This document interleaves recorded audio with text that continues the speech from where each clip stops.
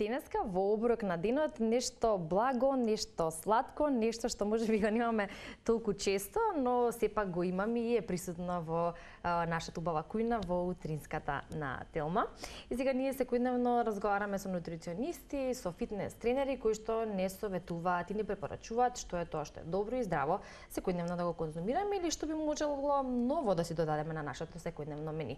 Но не би било лошо и следниот рецепт кој што ќе го правиме да си го додадете дадете на менито, сладко, лесно, нешто што е добро и за возрастните, но и за децата. И сега во кујната немаме експерти во готвење, но имаме нашите Ана и овој пат и Горан од Пеперминт кој што ни дојдоа овој пат во кујната, минатиот пат ни бевте во таму во другиот дел во нашата дневна соба, а сега во кујната за да може да позборуваме, да сготвиме нешто што вас вие почесто можеби дома како дел од менито mm -hmm. и исто така да им кажеме на гледачите дека ќе го промовираме ексклузивно и вашиот најнов спот за песната Сладка мала, така? Добре да, ни дојдовте. Така Добро ве најдовме, како и секогаш исклучително задоволство кај нас. Кај вас да дојдеме, значи пријатна атмосфера секогаш убаво. Е, баш ни е мило, задоволството е обострано и ќе ви се заблагодарам што одлучивте да денеска ни представите на нас и на нашите гледачи еден од вашите рецепти кои што го сакаат и вашите деца, погодно ќе mm -hmm. биде значи оние кои што не гледаат да знаат дека ако имаат или им недостасува идеја плюс да можува да се го подготват дома. Што ќе биде тоа? А, ова е уствари торта, која што uh -huh. ние ќе направиме сега во, во смалена варијанта, која што не се пече, не, нема такви подготовки. Се, единствено што се подготвува е пудингот. Uh -huh. Значи е со бисквити, пудинг, банани и било кое друго овоше кое што си го сакате, нели преферирате. Јас да. сакам да го направам кога е сезона на праски, јагоди. Со да, сезонско, значи. Да, да додадам покрај бананите и на кука основата му е со банани.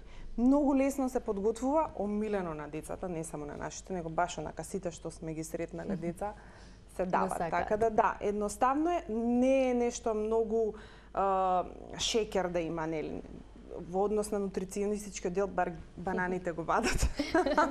Имаме нешто овоше. Да, да, има овоше. Значи кога е сезона баш може многу повеќе овоше да има, меѓутоа сега тоа е тоа. Така да јас ќе го направам во мали варијанти за да не губиме време сега тука. Иначе се прави во поголема тава и се редат. Принципот е нели бисквити натопани во млеко се реди ред, па се реди еден ред пудинг и овошјето и сето тоа се повторува дури не се наполни садот. Ето нема ништо, нема печење, нема вадење, нема, нема ништо. Нема ништо. Ништо такво се прави и се сервира, може малку во фрижидер и потоа се сервира. Така. така. така. И, и, и, и реално бисквитите, пудинкот и сами посебно некако состојки со милени кај децата и уште кога ќе се стават во комбинација, тоа што е одличен рецепт. Можем да почнеме? Може, да, слободно напочни ти, а јас ќе зборувам и со тебе и со uh, Горан, бидејќи Горан е тука како надзор или како рече Ненад нека седне и Горан да биде и дегустатор да, и вика или па не знам или дегустатор или мрчатор. Не знам колку во кујната најчесто што е, предпоставувам, дегустатор Горан? Па ни едното ни друго, да ти кажам искрено. Ни јадам, ни мрчам. Така да. Добро, значи сме утнале. Да, да. А во случајов сега во нашата кујна мораш да бидеш дегустатор. Па, поубаво вие да пробате, пошто ја ова секој ден го јадам по три пати на ден. да, ова е контрадикторно од првиот одговор, но добро ќе го сватиме како како шега. Горан, можеби повеќе со тебе ќе зборуваме во тој музичкиот дел, таму си покреативен и инспиративен, на што се однесува до готвењето, го јадеш тоа што ќе го направи Ана, така? Така, да, така. Ана, што најчесто правите дома? Зборувам за секојдневните оброци. А, значи, барем пет дена во неделата преферирам да готвам. Значи, зборуваме за готвење традиционално во принцип, значи се што е манџа, од компир манџа, грашок, боранија, леќа, гра... значи сето тоа што обично не го сакаат децата, па ни возрастните. Сакаат се нешто така може би така? почесто и брза храна, но и нешто некои специјалитети манџичките во се во второ план, но во денешно време Предпоставувам дека тоа полека почнува да се менува. Кај нас е, значи од старт така нашите деца, mm -hmm. а они се радуваат кога ќе кажам дека има манџа, кога ќе речам нема време да сготвам, не, о, о, ајбе нешто ќе направиме брзо или да ви купам нешто од сендвич, никако. Никако. Да. Тоа е последна варијанта. Манџа да, да има... готвено јадење. Да, готвено јадење им преферираат секогаш така било. Да. Така да, а, значи, во ова денешно време, значи јас исто нутриционисти сум се консултирала, кога а, индустриската храна превладува и времето не ни дозволува да да многу многу готвиме и состојките кои што ги ставаме не се баш, значи барем да внесеме свежо овош и зеленчук и изготвена храна. Значи да го избегнуваме колку можеме индустриското, нели она готово. Е се у моментов не баш Да, да, добро. Иде во прилог ова што го Прилагодено на условите, но чисто како презентативно да се види како изгледа Да. самиот рецепта, се разбира дека ќе се се приготви домашен пудинки. Да, м, сега. Тоа останато што треба, бидејќи оние кои што е, сакаат да дегустираат или се гурмани да речеме, без разлика дали се работи за десерти или пак за главни јадења, сакаат да поминуваат време во кујна, тоа не им представува проблем. Има и такви кои што сакаат само да дегустираат, но како и да е, има и од тие и од тие. Ние Так. најчесто оние кои што поминуваат време во кујна сакаат се да им биде а, сготвено, н- по- а, купечко зборуваме за оно кое што може да се направи Да. во домашни услови. Сега Горан рече дека нема да биде дегустатор, нема да биде марчатор, ама јас сепак Горан ќе те прашам што е или кое е твоето омилено јадење од оние кои што ги прави Ана. Па највише сакам лепи сол. Стварно. Лепи сол и и така некои суви работи што не нема нема течност многу у нив. А, пошто пијам многу вода и доста ми е водата. Ја мислам со без без јадење човек може да издржи не знам колку време беше таму, ама месец дена сигурно. Да, има и такви податоци, треба да човек веројатно да биде психички спремен за за такво нешто, за да може од вода да издржи еден месец, но како и да е честитки доколку ти успева.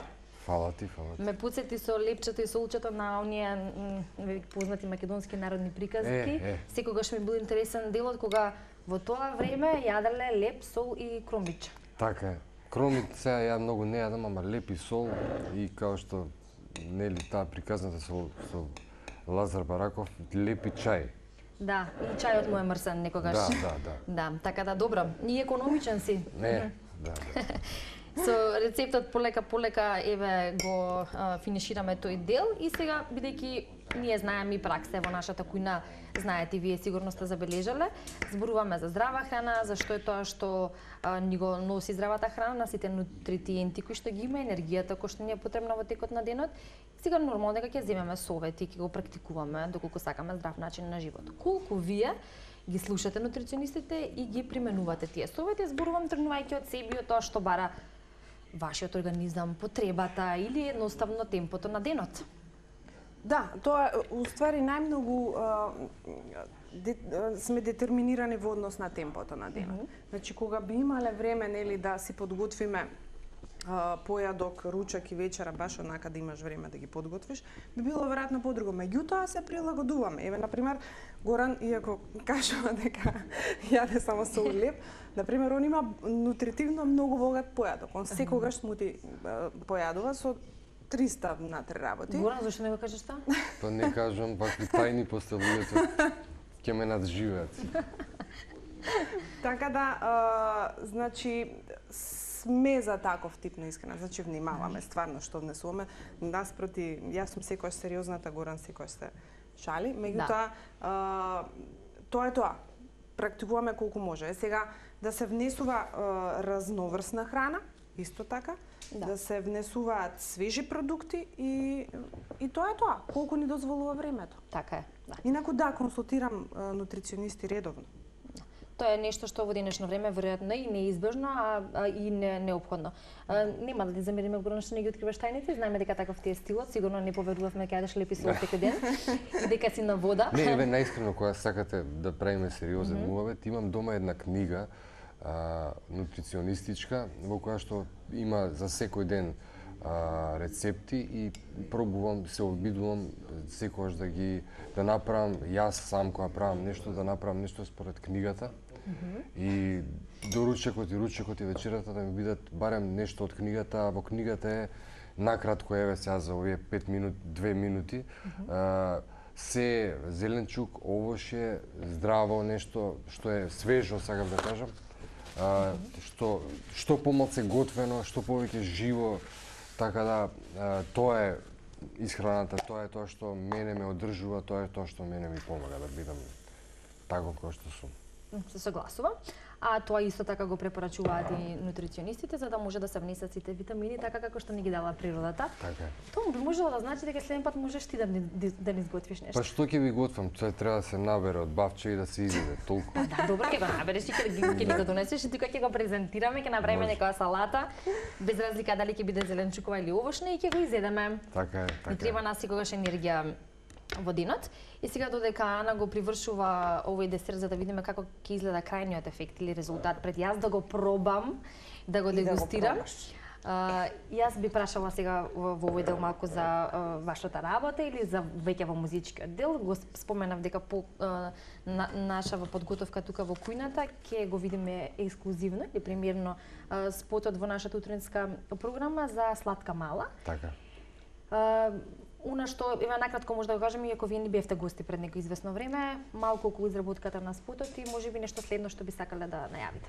Па, еве, ја мислам дека не помина многу време од минатиот пат, тоа беше минатиот спот, а, сега ова е нов спот. А, види, ние планираме да, да тераме вака што повеќе да направиме сега, пошто после више као чичковци, дедовци, нема да бидеме интересни онака со бркчиња и со бела коса и со стап да правиме нови песни, така да Е, сега... Кајте, ти има време. Ба, нема многу баш. Ама како и да е, сега сега сакаме да направиме тоа што и да го кажеме тоа што сакаме да го кажеме, додека е времево, уште додека сме Најкреативни. Да, да, Добра. ете баш така. Така да планираме здравје после ова уште една песна, ама сега еве да видиме оваа како ќе помине па здравје понатака. Не се сомневам дека ќе помине одлично. Нашите гледачи ќе имаат можност да го погледат спотот за кратко. Откако ние ќе завршиме со овој дел и а, Ани ти нешто друго да додадеш во, во контекст на ова кој што го кажа Горана се работи за музиката или тој музички дел во кој што заедно креирате, Ботане? Во принцип морам да кажам, иако не сака така да кажувам, дека он се што е во, во однос на музиката, он е задолжен за се. Значи јас ако отпеам пратечки вокали или ако нешто помогнам при снимањето во студио, чисто технички да му помогнам. Не е никако во однос на музичкиот дел. Така да он си е задолжен за тоа, јас само припомагам од страна и, и поддршка давам. Друго, тоа си е негов дел во однос на музиката. Да, но тоа е и во брачната заедница, нели, за една за еден убав тек во во бракот секојдневен, разбирањето, поддршката и се разбира а, сето она кое што е корисно во контекст на совети или нешто плюс. Уште за дечињата би ве прашала колку се тие музикални и колку некогаш ве даваат забелешки, коментари, критики и пофалби за тоа што го правите. Па, у секој случај присутни се тука и, и слушаат што се прави и знаат некојаш да кажат и дури и за некои песни што се добри да кажат а не чини.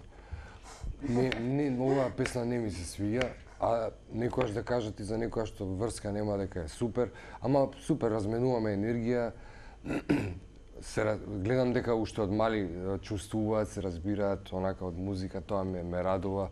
Имаат музика некоја што, која што ја слушаат, што е различна од тоа што ние ја слушаме, ама нормално секоја генерација си носи. Да. Да. Нови генерации, нов избор, а се разбира, децата си прават некоја разлика или пак она што е по нивни вкус, тоа сакаат да го Така слушаат. така. Најдобро е да не им се наложува она што ние го сакаме, нели, па потоа да се направи некој дисбаланс во нивните вкусови избори. Како и да е, е, ние сме веќе тука подготвени за пробување. Горан, дефинитивно не сакаш да пробаш? Па јас сум го пробал, го знам на памет, така да ви, ви, ви припуштам на вас. Јас ти благодарам, јас ќе пробам. Да пробаш. а, имаме сега тука два примерка, а верувам дека од колегите ќе сакаат да пробаат, јас би си ставила во посебно танирче. Така. И веднаш ќе ви кажам колку е вкусно, иако како што видовте од што се прави и како се прави и дека брзо се приготвува, мислам дека веќе знаеме дека е вкусно, ова ми падна, ќе го ставам тука. Така. И сега вака само за дегустација.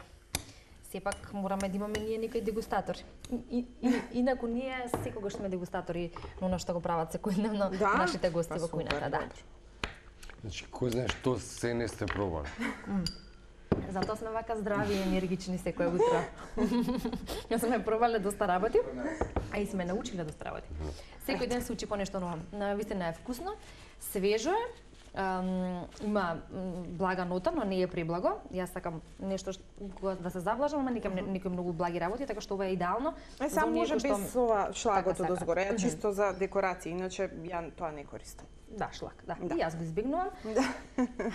Може нешто е да се додаде нешто како цимече, нешто така да му даде посебен шмек. Значи, изборот нека биде индивидуален на еве нашите гледачи, на оние кои што ќе сакаат да си го подготват ова и тука некаде јас би ви се заблагодарила што бевте заедно со нас овој пат во кујната и тоа и двајцата. А, Ретко имаме по двајца во кујната, но овој пат како брачна двојка, ете една целина да видиме што е тој убав и сочен десерт кој што го споминавте, а и реално така е. И се гледаме во следна прилика со новитети, За да сме здрави и живи. а може би и со некој рецепт кој што го спомнав. Секако. Се разбира, да, да сме здрави и живи и тоа ви го посакувам. И се гледаме и во продолжение го слушаме вашиот најнов спот, односно песна, го гледаме спотот. Фала ти.